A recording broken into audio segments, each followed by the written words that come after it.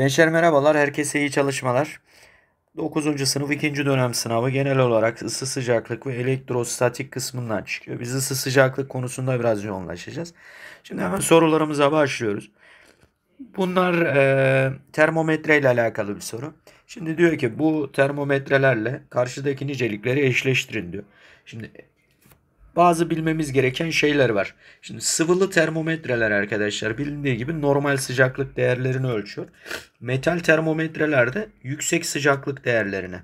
Gazlı termometrelerde de hassas veya daha düşük ölçümler yapabiliyoruz. Bakacak olursak erime noktası eksi 120. Arkadaşlar görüldüğü üzere çok hassas bir ölçüm yapılıyor. Yani çok düşük bir sıcaklık. O yüzden bunu burayla eşleştiririz. Şudur. Kaynama noktası 70 e, derece olan bir madde diyor. E, normal bir sıcaklık değeri yani ortalama bir sıcaklık değeri. Kaynaması da 3800. Yani dikkat edersek bu da arkadaşlar metal bir termometreyle ölçülü. Termometrelerde bunları bilmemiz bizim için yeterli olacaktır. Burada da diyor ki arkadaşlar bunlardan diyor bu öğrencilerden diyor hangisi e, yanlış bir ifade kullanmıştır diyor. Şimdi kontrol ediyoruz arkadaşlar. Ankara'nın ısı düştü diyor. Arkadaşlar ısı dikkat edecek olursak böyle sabit bir şekilde yani durgun bir şekilde ölçülmesi pek mümkün olan bir şey değil. Anlaşıldı mı? Şimdi burada da bu ifadeleri kullanan öğrencilerden hangisi yanlış ifade kullanmıştır diyor ona bakıyoruz. Şimdi diyor ki Ankara'nın ısı düştü diyor. Arkadaşlar şimdi ısı kavramına dikkat edeceğiz tamam mı? Isı. Isı e, durgun bir haldeyken ölçülmesi pek mümkün olmayan bir şey. Tamam ölçülmez. Ancak aktarılırken hesaplanabilir. Yani bu tarz ifadeleri görürseniz düşmesin. Vücut ısısı diyor. Derece diyor dikkat ederseniz yükseldi. Yine ısıdan bahsetmiş burada. Hastanın ne olur arkadaşlar? Vücut sıcaklığı. O da gitti. Bu da yanlış. Soğuk demiri sıcak suya atarsan sıcaklık alışverişi olur. Şimdi sıcaklık alışverişi diye bir şey olmaz arkadaşlar. Bu da ısı alışverişidir. Yani bu kavramlara düşmüyoruz. Isı bir enerji çeşidimiz. Unutmuyorsun. Sıcaklık da o enerjinin bir ölçüsü. Şimdi bu tarz grafiklerde görürsek eğer hemen aklımıza Q, T, işte M gibi ifadeler geldiği zaman Q eşittir. MC delta T yani Kelmacit ifadesini kullanmayı unutmayalım. Şimdi bakıyorsun grafiğin kesişim noktası burası değil mi? Ne kadarlık bir ısı verilmiş Q? Getir bunu yaz. Q eşittir. Şimdi bunun emine bakıyoruz. Adam bize zaten onu soruyormuş. Mx çarpı öz ısıları eşit. Küçük c'ler ne demekti? Şuradaki öz ısı değil mi? O zaman bunun yerine c yazıyoruz. Peki sıcaklık değişimi ne kadar olmuş arkadaşlar? Dikkat edersek sıfırdan başlamış grafik buraya kadar gelmiş. Yani sıfırdan 4t'ye gelmiş. O zaman buraya 4t diyeceğiz tamam Bunu bitirdik. Şimdi geldik diğerini kontrol etmeye y'ye. Y'ye ne kadar ısı verilmiş? Grafiğin kesişim noktası burası. 2Q eşittir. MY onu soruyor zaten. Çarpı. Öz ısılara aynı dikkat edersek yine C yazdım. Sıcaklık değişimi ne kadar olmuş bunda da? Dikkat buraya. Bak bu da T'ye gelmiş değil mi? Çünkü grafik burada. T. İkisini ne yapıyoruz biz gençler? Oranlıyoruz. Böldük, böldük. T'ler gitti. C'ler gitti. Şu e, Q'lar gitti. Sol tarafta ne kaldı? 1 bölü 2. Sağ tarafta ne kaldı? 4mx bölü payda da ne var? my. İçler dışlar çarpımı yapıyoruz şimdi bundan sonra. Yaptık. my eşittir. 2 kere şuradaki 2 ile 4 çarp 8 mx olacak. O zaman my ve mx'e 1 dersem mx'e 8 kere 1 my'ye de 8 olacağı için mx 1 my 8 oranımız 1 bölü 8'dir diyoruz. İşte bu kadar. Burada da yine termometre duyarlılığıyla alakalı bir sorumuz. Diyor ki bölme sayısının fazla olması, kullanılan borunun kılcal olması duyarlılığı artırır. Yani hassas bir ölçüm sağlar diyor. Buna göre aynı maddeden yapılmış, aynı cins sıvı kullanılmış. Aşağıdaki hangi termometrede en kararlı, en duyarlıdır diyor. Şimdi bakıyoruz o zaman bölme sayısı çok olacak. Burada kaç bölme var? 50. 10'dan 60'a gitmiş bak. Burada kaç bölme var? 20'den 60'a gitmiş. Burası 0'dan 60'a gitmiş. 60 bölme bu 10'dan 60'a. 50. 40'tan 80'e 40. Görüldüğü gibi arkadaşlar bu termometrede 60 tane bölme var. Ve kesit alanı da 1 ise. Şimdi o da kesit alanını belirten bir şey. Hem 60 bölme hem de bir kesit alan varsa en hassas ölçümü bunda yaparız. Çünkü e, içindeki sıvı daha çabuk yukarı çıkar. Tabi buraya genleşme katsayısı daha e, büyük olan bir sıvı koyarsak daha çabuk yukarı çıkacaktır. Bir cismin sıcaklığı değişik koşullarda Celsius, Kelvin ölçekli termometreyle ölçülü. Hangisi kesinlikle bu ölçüm sonuçlarından biri olamaz diyor. Arkadaşlar şöyle bir şeyimiz var bizim. Normal şartlar altında termometrelerde bildiğiniz gibi Celsius termometresi suyun donma noktasını 0, kaynama noktasını da 100 olarak kabul ediyor. 0'a 100. Ee, Kelvin termometresi de 273'e 373 olarak kabul ediyor. Donma ve kaynama noktasını. Bunun sebebi şu. Kelvin termometresi 0 Kelvin'i e, molekülün durduğu yer kabul ettiği için arkadaşlar burada herhangi bir e, molekül titreşim olmadığından dolayı bunun alt sıcaklık değeri yok. 0 Kelvin'de buradan aşağı doğru inecek olursak bak dikkat ederseniz 273 bölmelilik. Celsius termometresinde de 273 inersek eksi 273'e inmiş oluruz sıfırdan 200. Bak eksi 273'ün değeri de mutlak sıfır noktası Celsius termometresinde. Yani eksi 274 derece diye bir sıcaklık değerimiz yok. Ya da 0 Kelvin'in altındaki bir sıcaklık değerimiz de yine yok. O halde bakıyoruz. Eksi 10 derece var. 300 var. 10 derece. 300 Kelvin olur. Ama Kelvin'in eksi değerleri olmaz. Yani unutmayalım. E, dereceyi Fahrenheit'a, Kelvin'i Fahrenheit'a dönüştürme tipi sorular arkadaşlar. Çok basit bir metodu var aslında. Şimdi bakalım 30 derece sıcaklığın olduğu bir ortamda Fahrenheit termometresi kaç Fahrenheit ölçer diyor. Şimdi arkadaşlar hemen şöyle geliyoruz. Normal şartlar altında bizim e, Celsius termometresini yazacak olursak su sıfırda donuyor, yüzde kaynıyor. Geldik Fahrenheit termometresine. Fahrenheit'ta da 32'de donuyor arkadaşlar su. 212'de de kaynıyor. Şimdi şöyle bir olayımız var. Burada dikkat etmemiz gereken olay şu. Burada dikkat edersek 100 bölme var. Şurada dikkat ettiğinizde 212'den 32'yi çıkarttığınızda da 180 bölme var. Şimdi ikisi de suyun donma ve kaynama noktası. Şöyle bir mantıklı hareket edin lütfen. Varsayalım ki iki tane şurada koşucu var. İki tane koşucu. Aynı noktadan başlayacaklar ve aynı noktaya ulaşmaya çalışacaklar. İkisinin de aynı anda aynı noktadan başlayıp aynı noktaya ulaşmasını istiyorum. Bunu suyun donma noktası şuradakini A'yı diyelim. Şu B koşusunu da e, Fahrenheit olsun. Suyun donma noktası. Şu geldiği çizdi şu K çizgisinde arkadaşlar e, kaynama noktası olarak düşünün. İkisi de e, aynı noktaya aynı anda başlayacaklar. Sıfırdaki suyu ısıtıyoruz. Celsius termometresi birer adım birer adım giderek buraya ulaşacak. Toplam 100 adım atmış olacak yani. Buraya birer birer gidiyor. 100 adım attı gördüğünüz gibi. 100 tane adım.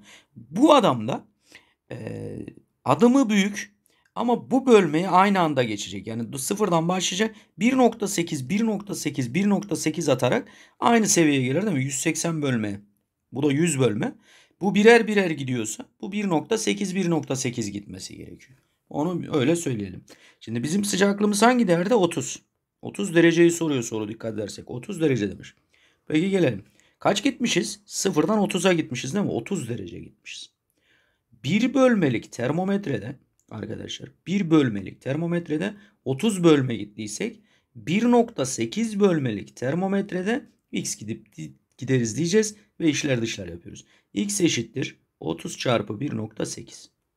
Şu sıfırla şu virgülü götürürsek arkadaşlar x eşittir 3 çarpı 18 olur. x eşittir 3 kere 18 54. 54 birim 54 bölme. Bak 54 bölmeye gideceğiz unutmayın. Nereden gideceğiz ama 32'den. 32'den 54'e çıkarsak kaça gelmiş oluruz? 32 artı 54 diyeceğiz. Sıfırdan başlamıyor bak burada olduğu gibi. 32'den başlıyor. 86. Yani cevabımız Bolu diyoruz gençler. Hangisinde ısı sıcaklık kavramı yanlış kullanılmıştır? Arı suyun, saf su yani normal kaynama ısısı 100 derecedir. Isının birimi derece olmadığı için hemen Adana diyorsunuz ve geçiyorsunuz. İşte olay bu. Yani diğerlerini kontrol etmeye bile gerek yok arkadaşlar. Hastanın vücut sıcaklığı 38. Isısı deseydi sil Grafiğinden bahsetmiştik arkadaşlar konu anlatımımızda. Bakın bu tip sorularla karşılaştığımızda ne yapıyoruz? Çok önemli. Şimdi elimizde diyor ki deniz kenarında ısıca yalıtılmış bir kaptaki su içerisine buz. Elimizde ne var gençler? Su var. İçine ne atıyoruz? Bir buz atıyoruz. Su buzda yüzer. Peki diyor ki grafiğe geldim baktın odaklandın. Ne olmuş? Su kütlesi ne oluyor zamanla? Artıyor. Hmm. Suyun artması için şurada arkadaşlar. Suyun artması için ne olması lazım? E, buzun erimesi lazım değil mi? Buz demek ki ne yapıyor? Eriyor. Buzun erimesi için suyun buza ısı vermesi lazım. Buzun sıcaklığının artması lazım. Bak buz erimiş. Bu aralıkta buz eridiyse arkadaşlar hal değişimi var.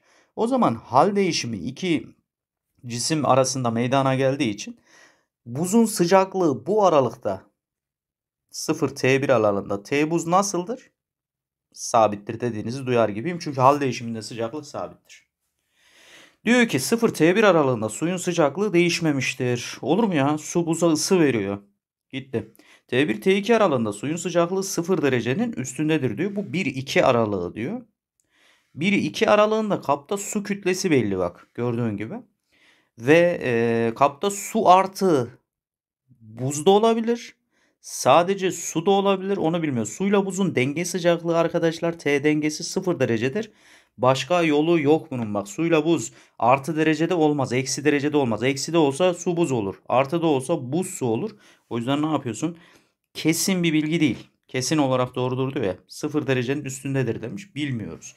Bu aralıkta suyla buz varsa 0 derecedir. Sadece su olup diyelim 50 derece su varsaydık. içine 2 gram buz attın hepsini eritti. Yani e, böyle oldu yani bu grafik. Yani e, olabilir. Diyelim 10 derece su varsayalım. Bir miktarda buzumuz var. Buzun bir kısmını eritti az bir şey kaldı. O zaman suyla buz olur bu durumda arkadaşlar. Bu da ne olur? 0 derecede dengede kalabilir. 0 T1 alanında buzun sıcaklığı değişmemiştir. T buz sabit zaten orada. Bu %100 bileceğimiz bir bilgi. Kesin olarak doğru cevap Ceyhan var diyoruz. 0 derecede ısıl dengede olan su buz karışımı aşağıdaki verilenler e, aşağıdaki verilen şekilde gibi dengededir diyor. Buz suda yüzer zaten. Hani burada dikkat etmemiz gereken noktalar var. Kaba buz eriyene kadar ısı verilirse hangileri doğru olur diyor. Şimdi kontrol ediyoruz arkadaşlar bakıyoruz. Erime sürecinde su buz karışımının öz kütlesi değişmez. Bu yanlış arkadaşlar. Çünkü e, D eşittir M bölü V dediğimizde arkadaşlar buz burada yoğunluk olarak farklı. Suyun yoğunluk olarak farklı olduğunu görürsünüz. Zaten suyun yo yoğunluk 1, buzun yoğunluk da 0,9 dersek karıştırdığımız zaman, erittiğimiz zaman doğal olarak ne olması lazım? Yoğunluk olarak değişmesi gerekiyor. Yanlış. Buz erirken suyun sıcaklığı artar demiş. Su ısı verdiği için buza sıcaklığı azalır. Buz eridiğinde H seviyesi değişmez. Doğru. Bunu kaldırma kuvvetinde de detaylıca anlatacağım zaten. Yüzüyorsa değişmiyor. Ama şöyle yaptık diyelim. İçeriye buzu koyduk ve bir iple bağladık diyelim. Şimdi buzun öz kütlesi 0,9'dur. 0,9 diyelim. Ee, 10 bölü 11 mesela. 0,9 değil? Demek ki kütlesi 10 iken hacmi 11 oluyor. E, su olunca ne oluyor? Hacmi 10 bölü 10 oluyor dikkat ederseniz. Hacim ne oldu? Azalmış oldu bak gördüğünüz gibi. Hacim azaldığı için ne olması lazım? Seviyesinin düşmesi lazım. O halde ne oluyor? İçerideyken seviye düşer, yüzüyorken seviye değişmez. Buna da dikkat edin. Isı ve sıcaklık ünitesinde buna değinmedik ama arkadaşlar madde ve öz kütle ünitesinde değinmiştim hatırlıyorsunuz. Şimdi burada buz var. Buzun oluşabilmesi için yukarının sıcaklık değerinin eksi t'lerde bir şey olması lazım. Suyla buzun sıcaklık değerinin buluştuğu nokta 0 derecedir dedik. Başka bir sıcaklık değerinde buluşamaz. Aşağı doğru indikçe de suyun e, hacmi azaldığı için değil mi? Ne oluyordu? Isı verdiğimizde 0'dan 4 dereceye kadar ısısını verdiğimizde hacmi azalıyordu. Hacmi azaldığı için de D eşittir M bölü V'den hacmi azaldığı için öz kütlesi artıyordu. O zaman aşağı doğru indikçe suda değer olarak artıyordu. Artı 1, artı 2, artı 3, artı 4'e kadar geliyordu. Dip nokta artı 4 olabilir, 3 olabilir, 2 olabilir. Tam bir eminliğimiz yok. Bakalım S'nin sıcaklığı artı 4'tür. Bak eminlik yok. P noktasında 0'dır. Bilem hayır eksi derece. R'ninki 0 derecedir. %100 doğru. Kesin doğruyu sorduğu için böyle dedik arkadaşlar. Olabilir deseydi biri de alacaktık. 1 ve 3 derdik. Buna da dikkat ediyoruz. Şu an kesinliği yok onun. Burada bize ne diyor arkadaşlar?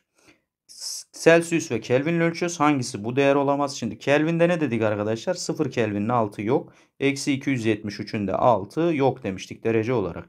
Bakıyoruz eksi 30 Kelvin. Bu olma ihtimali yok. Yine su buz e, kütlesinin zamana bağlı değişim grafiği çıktı karşımıza. Bir kaba suyun içine bir miktar buz atıyoruz. Suyun kütlesinin zamana bağlı değişim grafiği şekildeki gibi olduğuna göre hangisi kesin doğrudur? Gelin şimdi kontrol ediyoruz. Bak bu grafikleri anladığımız anda olayı bitireceğiz. Şimdi burada ne olmuş? Suyun içine buzu atmışlar. Bir bekleme var değil mi? Bekliyor. Daha sonra ne olmuş? Grafik artış gösteriyor. Demek ki ne artıyor? Bu neyin grafiği? Buz da olabilirdi. Bak suyun grafiği. Su artıyorsa bu aralıkta ne oluyor arkadaşlar? Hatta şöyle diyeyim ben size. Şu aralığa 2, şu aralığa 1, şuraya da 3 diyelim. 2 aralığında dikkat ederseniz arkadaşlar ısı alışverişi var. M su ne oluyor? M su artıyor. M su artıyorsa M buz ne oluyor? Azalıyor. Peki M su artıyor, M buz azalıyorsa buz sıcaklığı sabit değil midir? Hal değiştiriyor. Değil mi? Bunu söyleyebiliriz.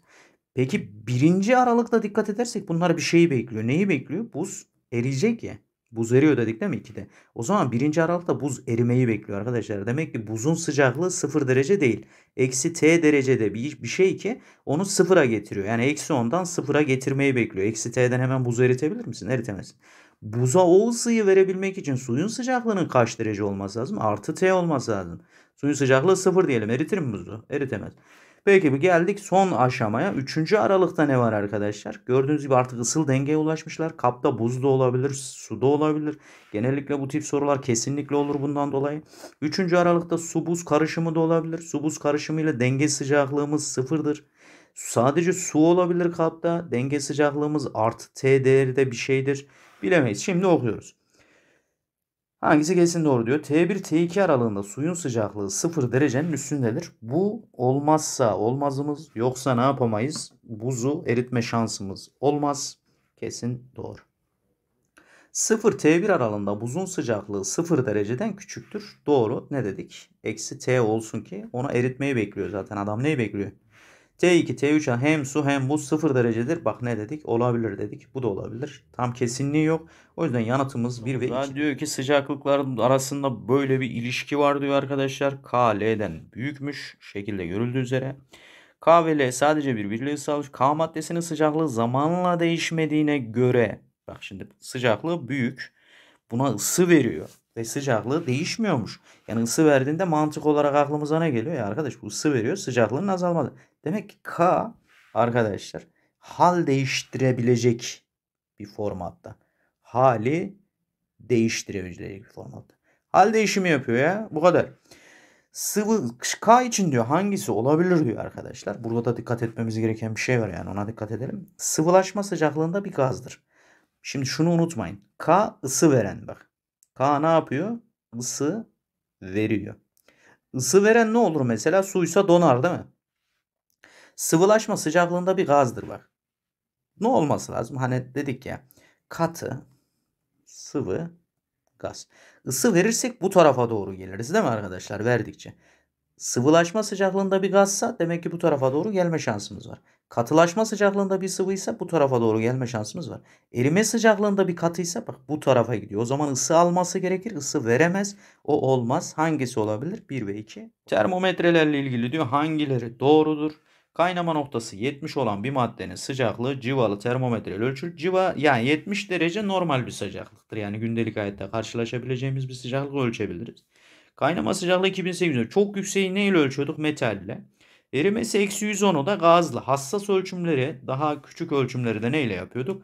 Metalle yapıyorduk. Şey gazlı termometreyle yapıyorduk dedik.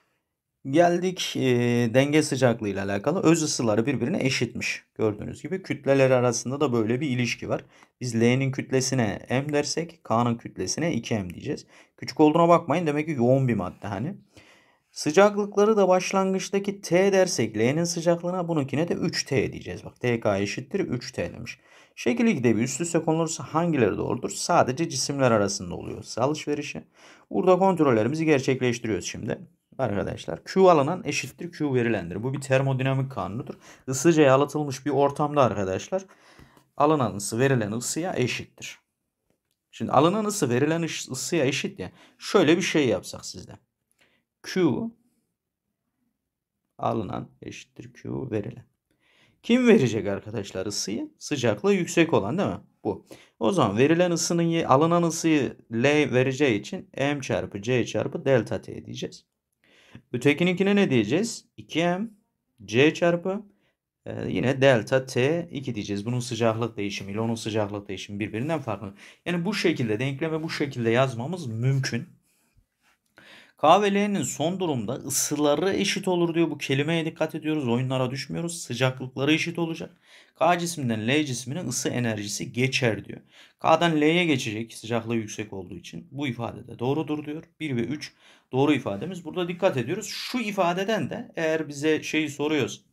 Denge sıcaklığı kaç derece falan gibi soru gelirse bu ifadeyi